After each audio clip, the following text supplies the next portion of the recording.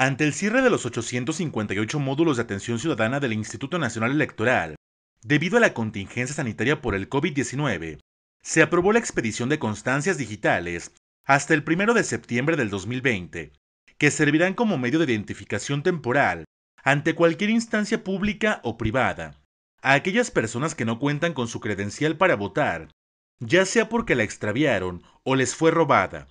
Los interesados en realizar el trámite deben ingresar a la página www.ine.mx, dar clic en el apartado de constancias digitales, ubicado en la parte superior al lado derecho de la pantalla. Ahí podrán descargar el formato de solicitud, mismo que deberán llenar y firmar. Una vez concluido el proceso, deberán tomarle una foto y enviarla al correo constancia.digital@ine.mx.